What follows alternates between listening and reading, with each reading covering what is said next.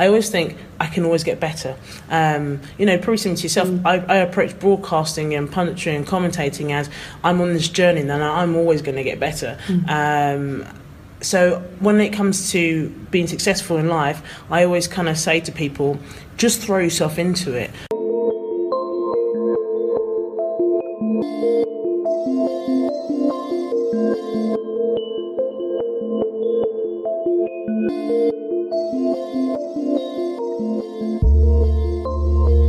Welcome back to the Art of Success. It's Ebs here, and so excited to bring you episode 004. Now, I'm about to shout out one of my friends, Hirsch, who keeps me giving me grief about saying 00. Mate, listen, there's a point why I'm saying this. I'm trying to remind myself I have to get to 100. So, by putting those two zeros in, that's the reason. So, leave me alone, mate. Just thought I'd shout you out to hopefully embarrass you. Anyway, uh, this week on the podcast, we have an amazing trailblazer, someone I'm honoured to call a friend, Maggie Alphonsi, MBE.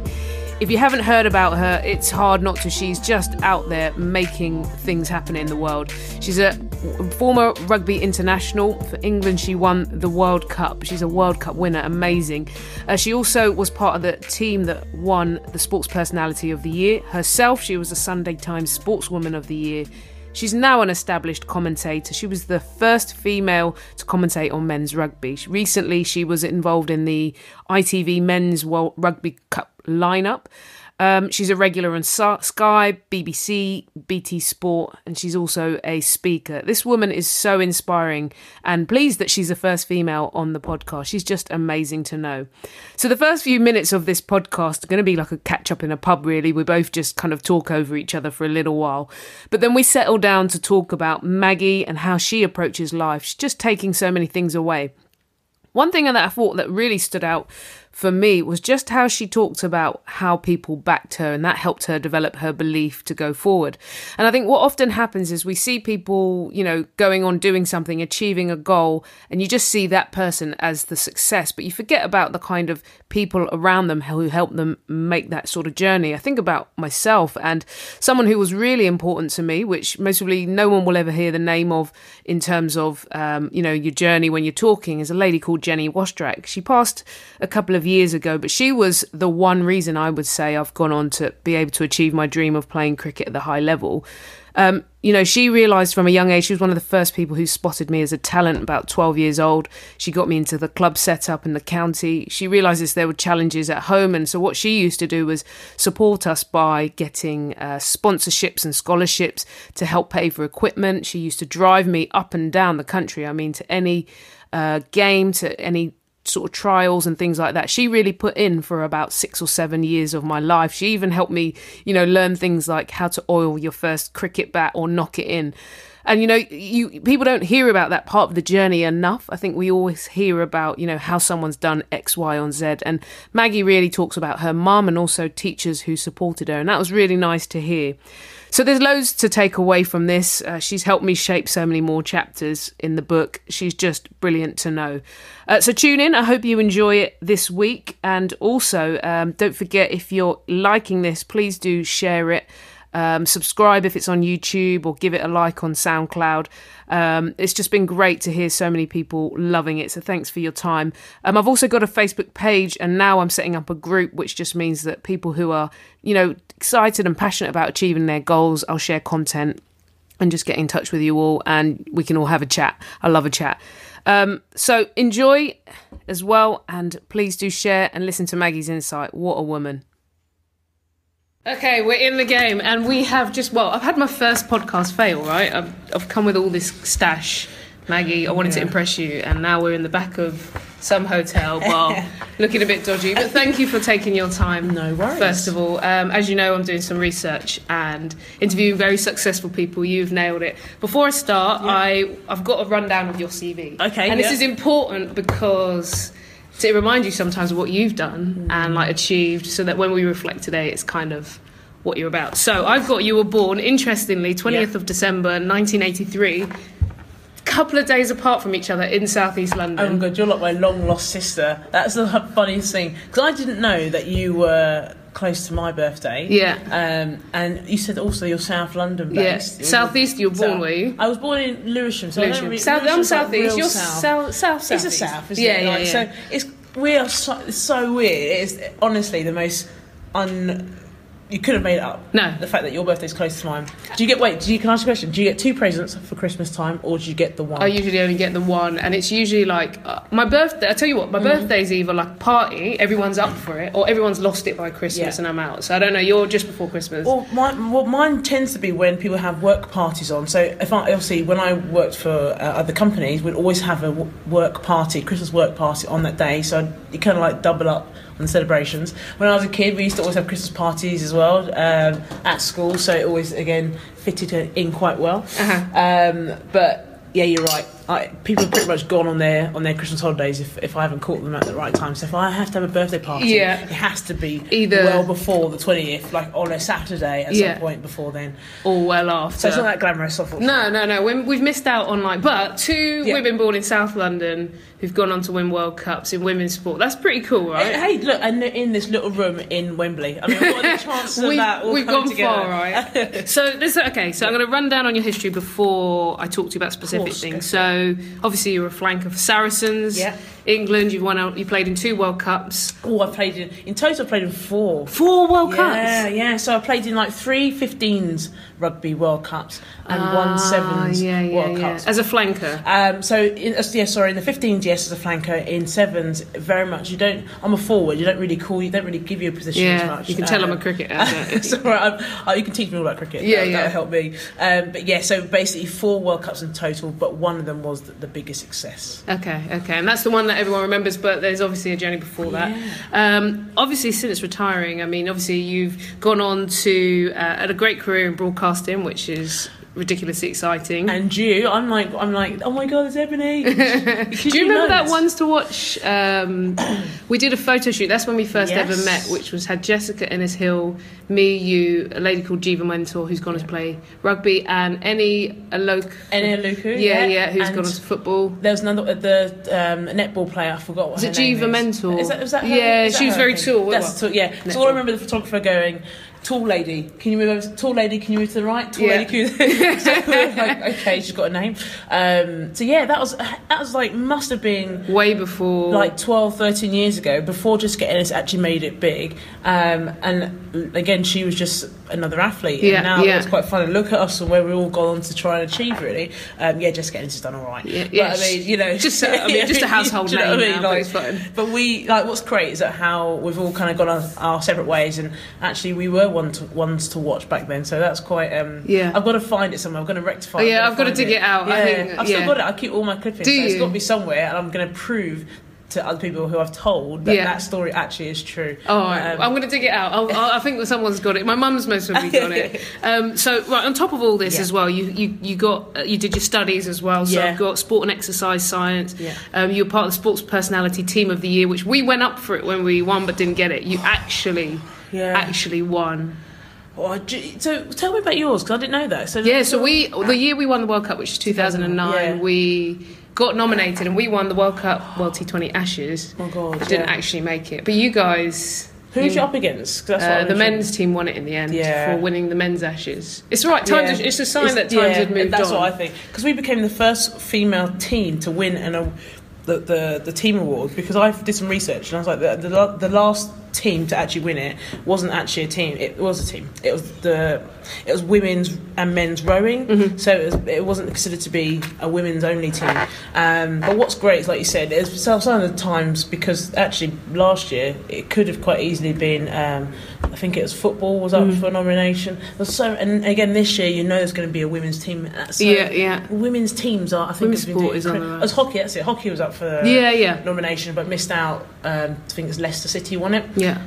I, I guarantee you next year there'll be something else because there's, there's women's cricket World Cup, you've got the hockey World Cup, and you've got women's rugby World Cup. So anything can happen over this time, which could mean again another team goes on to win it. Right, your time's precious. Yeah, so yeah, we're going to get into. So, okay. Um, I want you to think back. So basically, as you know, I'm doing some research. I want you to think back to early days, Mm-hmm. right, and think about your whole journey, all the things you've achieved.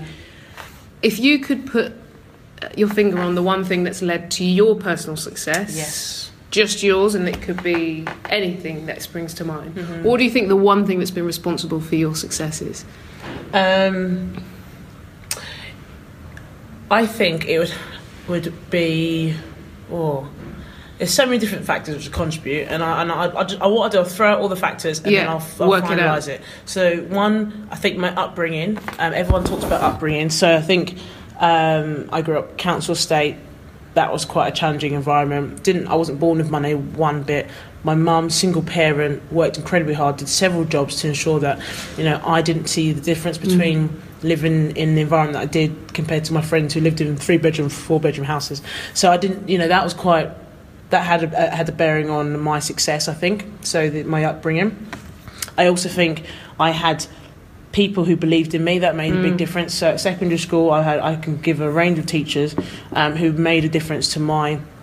Um, I guess attitude in school, and because they they backed me, they believed in me. Um, so it meant that I wanted to work hard for them, not just for me. And when I let them down, I felt that, as opposed to being told off didn't make a difference, but letting someone down really had an impact. So people who supported me, and I would say the third thing, that another factor which has contributed to me being successful, I would say. Um, I, I've always had a bit of a drive to always want to be the 1st and I think the fact that there's not been, for example, let's say in women's broad, in broadcasting, there's not a lot of You're women the out first there female or to commentate on in men's the rugby, yeah. rugby. Uh, and what's great is like I talk to you, you're, you're, you're like nailing it in cricket. Um, uh, Aisha is also Yeah, doing yeah, cricket. Um, I, I can go on in other Mitchell, sports. yeah, yeah. There's so many, and this is what I love now. Like I want to be part of that. I want I want to be part of that journey. So I think for me, it's always been wanting to be the first. Um, has sort of been a bit of an inner drive. Mm. I didn't want to have role models when I was young. I had a role model. Um, but I didn't want to have role models because I don't want to be like them. I want to exceed them, and I want to people to kind of sort of come along with me on Mm, that journey. So if I was to nail it down to one factor, I think it probably what made me successful is having people believe in me. yeah. That's what, and that, and that I can throw in on my mum, my teacher. And So I'm going to throw a question to you. Yeah. The chicken and egg. What came first? Do you think your mum saw you as a young kid who had something Yes. and invested, or do you think your mum was? I'm going to instill these values. Yeah. And it, or do you think it's yeah? I think it's funny. Like m- my mother, very sh- uh, strict Nigerian. Mm. Um, you know, wanted me to be a doctor, nurse, all of that stuff.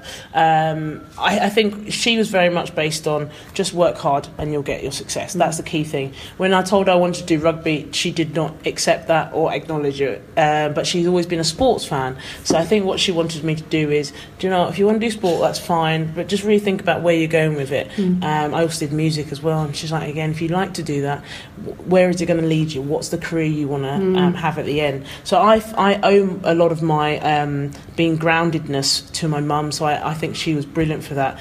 I do think though the PE teachers who I met in my life and the other people who've, you know, you meet many people on your journey. PE teacher started it off, and many others have kicked it on. But um, I think one PE teacher, particularly called Lisa Burgess, was, was quite significant to me picking up rugby. And then there's other teachers like Miss Walker, um, Graham Webber, Louise Canty. These are the, the, the main teachers at my secondary school. Um, and I went to a really rough school who really backed me. And I owe a lot to them to this day. And that's allowed me to keep. So when I do work now and I think, oh, things are maybe challenging, because we all have ups and downs Yeah, yeah. think about them because they're the ones who are kind of like, well, look, I'm going to give you some money to help you go to try and go. I went to represent Great Britain in touch rugby. My teachers paid for that. Um, they got me off the naughty step, I guess, because I was a really bad kid, and gave me direction. So I owe a lot to them. They were like mentors to me. That's really powerful. That's Yeah. really... Okay, talk to me about. So I did not know. I've known you, Yep. seen you over the years, but I did not know you had clubfoot. I know. and Yeah. like, talk to me about like one what that was like. Two, how you overcame it. yeah. Three, yeah, just talk. Yes. Just talk because that's So, fascinating. For those who don't know what it is, clubfoot is basically where one or both of your feet are turned all the way in. Uh, and for me, growing up, I was born with my right foot turned all the way in. And the funny thing is, I probably didn't know a lot about. I didn't know anything about it until I got older because. Again, it's a childhood thing, so I never really recognised it. But what happens is, well, um, the doctors said to my mother, you know, she can have an operation to get it straightened, and so she went ahead with it. It's quite a, a difficult thing for any parent to say Yeah, yes yeah, to yeah. because the child's going to go old- under very young actually because I think it has to Five, be done three. under the under, Under, five yeah, that young uh, age. your bones are so soft and you can actually So do they can some yeah. So from a young age, that's quite a challenge. Um, and there's another there's other methods where people wear boots, I think, which can straighten, Straighten over out. time. But I'm from what I do remember is being a child and like going through an experience of like that and you know you have to go to hospital a few times to make sure it's corrected having an operation having something in your foot um, but I don't know it vividly that that time but what's funny is as I got older, you know, and, I, and people talk to me about the condition, I, I actually just got on with it really as a rugby player. Um, and if anything, you know, it, it became, it didn't become, it wasn't a disability. I, be, you know, I just saw it as Just some as part of my, one of the things you work with. I've got to train it. And Did your mum try and make you protect it? Or no, no. She just well, kind of let you crack on. well, she was, she's like, you know, when it comes to um, hard work and graft, Yeah. she's like, just get on with it. If the more you think about it, the more you dwell on it, the the the further back you you will be. So I just got on with it really. Um, but when I was in my England team, the focus was all around. So my strength conditioning trainers would make sure that I work on my calf and the strength around that area, um, just making sure that I had better. A better running gait, um, but I also developed lots of hamstring problems and knee problems. So it actually had lots of impact, but I never really. I, I didn't use it as an excuse. I just got on with it. So my teammates probably didn't know I had it. They just thought I'd run a little bit different, to them. um, but yeah, I had it when I was young. Um, but I, it's, it's amazing. I talk about it now. Lots of people, lots of top athletes have had it. Steven Gerrard had, No had way. clubfoot. Um, there's a couple of other like top sprinters as well have had it, Yeah. and it's just been something they've just developed and figured it out and had operations on it usually or had it corrected. But lots of top athletes have had clubfoot. It's Yeah. not it's not a uncommon condition because there's different severities of it. Mm-hmm. But yeah, it's a, I, it's something that started my journey, and it's funny how um, I've gone on to be. Uh, you know, Successful in athlete- sport an and athlete, yeah, yeah. you know, because there's a lot of Paralympic athletes actually have Yeah, it. yeah. So it's not really that uncommon in a Yeah. way. Okay, so talk to me about attitude. So, Yes. attitude, I think, is something that massively separates those who go on and achieve great success and those who don't, and mindset. And in in already what you're saying, a few things have come in about hard work and your mum's instilled values, um, cracking on despite setbacks. Yeah. So, do. You, do you, th- you know, in terms of developing attitude, let's put it another way Yes. because you've talked about doing a bit of mentoring and Yeah. things like that. Like, what do you talk about when it comes to attitude? Yeah, um, I you know I talk a lot about mindset. So we talk a lot around the growth mindset. Um, so Carol Dweck just. Yeah, did a lot of work on, around yeah. yeah. So this fixed mindset where you know where you believe that what it is is what I've got and I can't get any better. And there's that growth mindset where you go, actually, I with a bit of training, a bit of um, development, I can get better. And that's what that's how I, I I approach life now. I always think I can always get better. Um, you know, probably similar to yourself, I, I approach broadcasting and punditry and commentating as I'm on this journey, and I'm always going to get better. Um, so when it comes to being successful in life, I always kind of say to people, just throw yourself into it.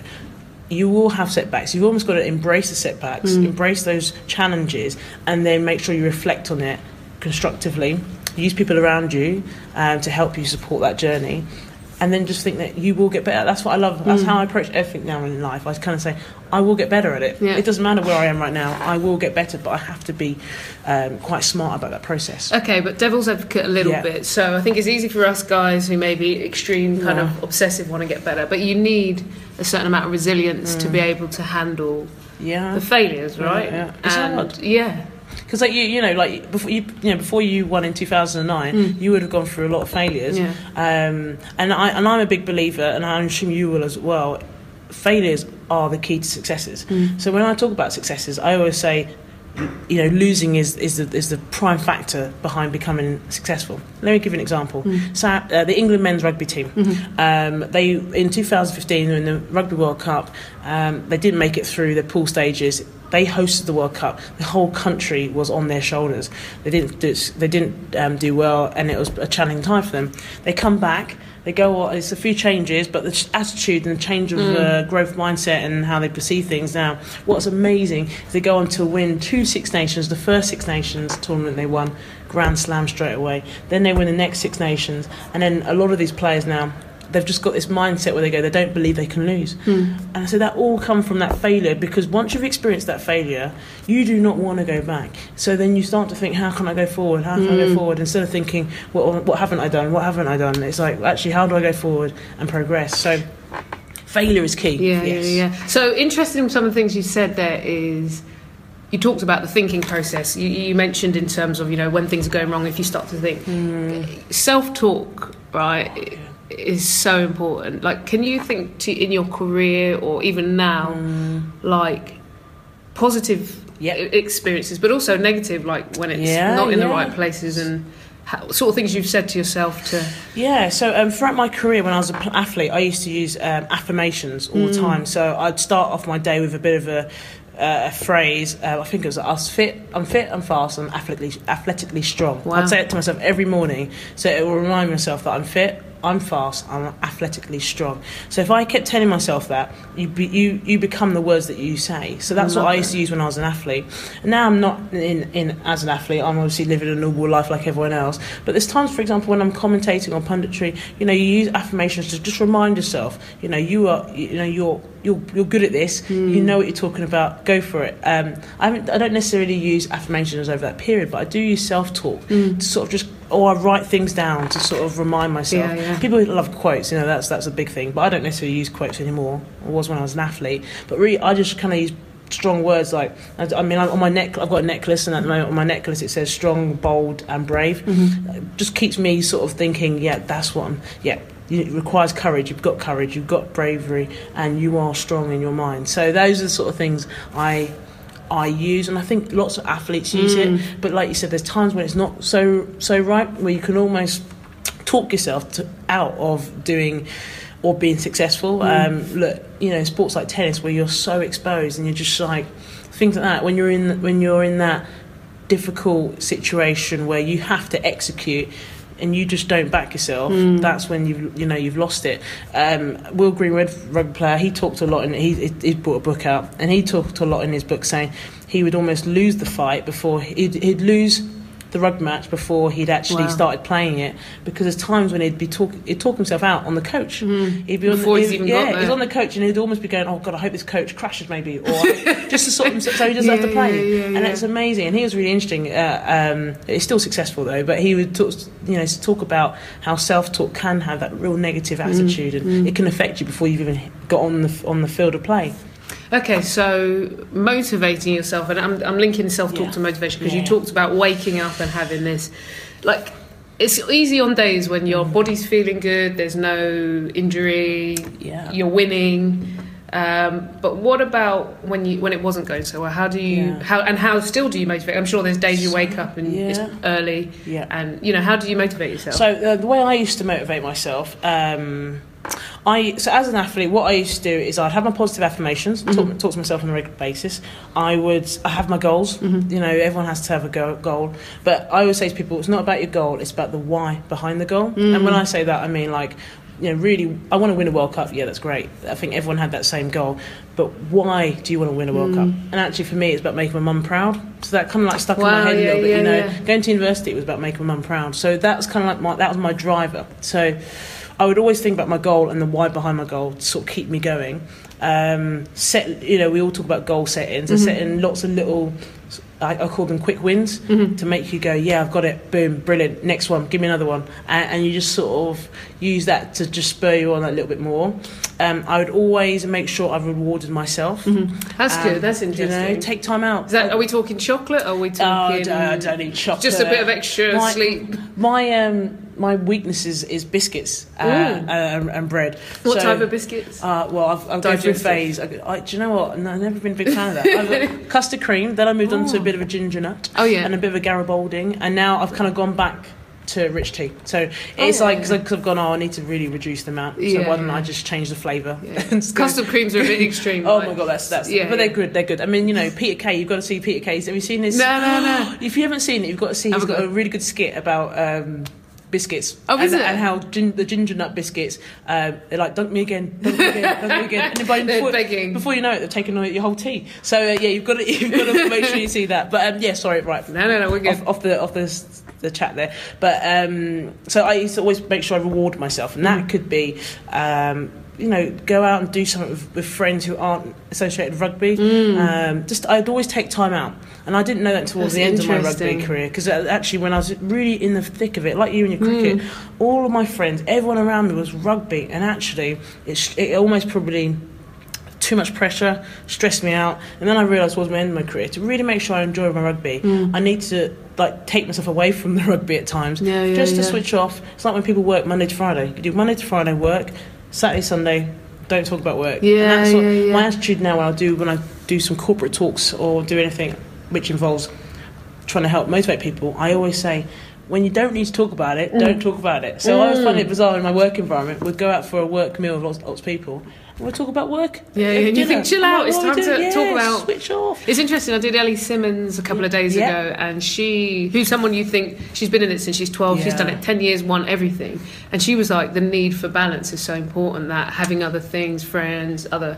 And I was quite surprised because I thought she would be so like Yeah. obsessed in it because of the amount she's done. But And she talks swimming about different as well. Yeah, swimming, yeah. I mean, they they train They, uh, morning, afternoon, noon, night. night. Yeah, Yeah. Um, but balance is key. I think you don't again you don't know that until you come you, you, mature a little bit and Yeah. you realise this is too much for me. I'm burnt out. yeah, yeah. And when you hit and burnt out, it comes about too late until you know you've you've, you've, you've done it, yeah. So yeah. Uh, yeah, I would always say reward yourself and make sure you have time out. Um, and what other things I used to reward myself, not reward myself, uh, motivate myself. Um, I would celebrate successes. I guess it's a pretty the same, really. Mm. So when you do well, like if I, for example, I don't know, got my starting shirt against New Zealand, and once I get that, you know, make sure I celebrate that and I'm Mm. aware, I recognise that instead of looking back and going, oh, I didn't do this, didn't do that. Really think about all the things that you you have done really well. Brilliant. I've got my first shirt for against New Zealand. Um, I bench pressed 115. You know, think about all, celebrate the good things that you've done. Yeah. Okay. So I'm going to do two more questions because Go I know you got to run. Yeah. Um, the two questions I have is pressure. So, Yeah. and you would have experienced this individually, and maybe sometimes, um, you know, that increases depending on what's going on. You'd have experienced it as a team when you guys are going into World Cup, and each round you get. Yeah. How did you handle pressure expectations? Yeah. So I um, I used to love it. Really? And, and one of the things which um, some of my sports psychologists said, but I know she, she nicked that from another person's quote, um, is pressure is a privilege. Mm. And they talk about it all the time. And not until it really sunk in, and I was like, oh my God, you're right. I've, the fact I've got pressure is because people have expectations of me, Mm. and that's amazing. And I love the fact that people are talking about me and expect me to do well for this team. So I got to the point where I was like, I absolutely love the big stage. Mm. Like, I love knowing that there's whatever thousands of people out there um, coming to watch a women's game, which is which is quite always quite a rare thing, and that they expect me to do a good do a good job for the team. Love that. So I never saw it as a as a concern. It never broke me. I never was nervous. It, when I played rugby, I was like, I've got this. I've been doing it for so long. I've got this in in the bag. Um, that doesn't mean there's times when I you know didn't perform, but I have to admit I looked at as I looked pressure to be a privilege, and now I'm trying to adapt that in my mm, work that I do now, either in a corporate environment or in you know obviously media like yourself. It's trying to see pressure as a privilege. It's wow you're there. Oh my god enjoy the experience enjoy the big matches enjoy the feeling of you know talking about a, a sport that you absolutely love. So um, yeah it's almost I try to turn it around instead of looking at it and being nervous frame it. right. yeah. Yeah, and, yeah. and seeing actually wow this is people expect you to do well because they think you're good go with it Yeah, yeah. Okay, last Yeah. question I'm Yeah. going to finish on. Um, I feel like we could talk about this for hours, but we we both got places to go. I've got to get up to Leeds. You've got to Of get back. yeah. Um, last question is about, and you. The reason why I mention it is because straight away we talked before we turned on the podcast about Seven Habits of uh, Mm. Stephen Covey. He talks about Carol Dweck mindset, growth mindset, another book. You, you seem to be someone who enjoys the learning. Massively, yeah. So um, I don't know about you, but when I was an athlete, I used to I love reading. Mm. I didn't read autobiographies much. I think that's probably one of the things I try to steer away from. I loved reading about psychology Mm. and understanding what makes people tick, um, understanding how to you know better yourself. I love to grow, grow myself individually and Mm. invest in me. That's what my attitude has always been, uh, and even now, like I'm very much I love um, helping others realize their potential. And the best way to do that, I think, is reading. That's you know, Mm. God, the fact that you can take in all this information and you can become more self-aware is such a special thing. Um, so yeah, I, I love my psychology. I, mentoring and coaching is the two things that I'm really big on right now. Um, but I love the fact that there's so much uh, transition or similarities from sport into business and in, into life. You know, the things that you've done in sport, i.e., maybe prioritizing and planning, is the same in a business project management world. Is the same in what you're doing today, going, you know, having to plan and prep. And I love that sort of. Um, it's like transferable skills, but also just understanding psychology and how the how the mind works. What you know, what your behaviours can have an impact on others. All that stuff. So I can waffle on about. Yeah, yeah, no, I think we could. Talk. Okay, final question. Yes. We're going to wrap up on this. There's a Maggie that's five years old now, Yeah. right? Little Maggie coming up, and you're still around. You're grown Maggie. Yeah, Um, if you were to give her one message or one bit of advice yeah. that you think would lead to her success, what would Yeah. you say to her? Um, I would probably say to her, don't be concerned by what others around her think of her. That's the hardest thing, I think. Even as an athlete, it sounds so silly because people think that we're so confident, and we are, but we are constantly consumed by what other people think about us.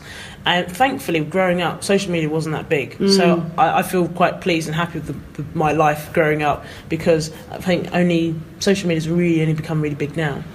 Um, but I do think it's very easy to fall into this trap of thinking about how people think about me outside of the outside of sports. So wearing my normal clothes, what people think about you, but also when you're on the field, everyone wants to throw their two pence in, and that's a challenge I think for athletes to really get away from because we are all addicted in a way to our phones. So I would say to the younger Maggie, don't be obsessed or worry about what people think about you. Um, it's easier said than done, but really be confident in you and your ability, and that's who you should really answer to, not to mm. everyone else. And that's a challenging thing. And I think, like I said, not just athletes. I think young people, adults, are constantly aware of that. Like when I work with people in the corporate world, they are constantly thinking about what others think about them, and actually, really, you should be thinking about you and your capabilities and what you can bring to the company or what you can do for yourself to progress. Mate, that's perfect. Like absolutely, Absolute perfect. pleasure As always, we have to catch up for a proper Yeah, hangout soon. definitely. Um, but two whizzy people. But thank you for your time, mate. As No always, problem. you're a legend. There you have it, Maggie Alphonsi, MBE. Just so cool of her to take some time out. She's someone I've absolutely loved getting to know over the last sort of maybe eight years or so, just through our sporting journeys. And it's just nice to have people in your life who they inspire you. Every time you see them, they're pushing and striving, and they also, you know, give you that support and always there with that kind of uh, energy and excitement for life. It's just lovely. You know, an example of her attitude is, you know, I turned up and mentioned at the start of the podcast there was a podcast fail. And what I meant by that is I turned up with all this stash, you know, the microphones, all the mixers, all this sort of stuff, and just nothing was working. The batteries died. Um, and also with the room where we were meant to do it in, it just wasn't working, and we had to go around the back of some hotel bar. It was all a bit, you know, just messy. And she was just like, mate, let's just get on with it. Like, get the phone out. Let's just try something different. She had this can do attitude, and that's what I love about her. So I got a lot of takeaways from it, loads um, to take away. One thing that I, I've heard her say, Ellie Simmonds is going to say in a podcast we're going to do soon, is about learning to switch off and balance. You know, sometimes we're so driven or trying to make things happen, whether it's getting ahead at work or, you know, getting that fitness goal or whatever it is, that we forget to factor in balance. And it's nice hearing her say that. It, it really kind of gave me a bit of perspective there. The other thing that I loved about her, something I'd most probably love to uh, steal a little bit of, is just how she talks about loving pressure. Now, I I enjoy it sometimes, sometimes I don't, and it overwhelms me and I get anxiety. But she kind of really embraced it, and when she talks about that quote, I think it's a Billie Jean King quote about pressure being a privilege.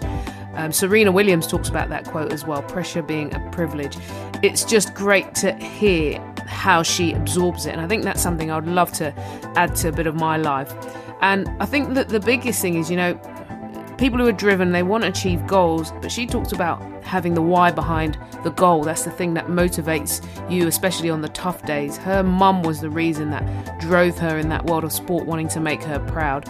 And I think if we can remember and distill what our why is, that's just going to help us crack on, achieve our own version of success. Took so much away from Maggie. Like I say, I hope you enjoyed it this week. If you want to get in touch, feel free on social media, Facebook. I'm on everything Twitter. Twitter's at EJ Rainford Brent. Um, and also feel free to uh, you know drop me an email or anything with ideas. I've already actually had quite a few people suggest some great people that are now lined up in worlds I'd never have imagined before. So thanks for your engagement and just have a great week. Hope you keep pursuing those goals.